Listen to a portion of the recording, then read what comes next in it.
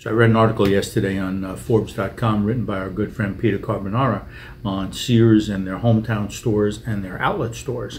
And what struck me in the article is that um, the CEO, Ed Lampert, has used his hedge fund, which created great wealth for him, obviously, to attempt to manage Sears. And quite frankly, I'm not sure what a hedge fund manager has as a qualification to manage a dying brand that has to compete with Amazon and Walmart every day. I just don't understand that.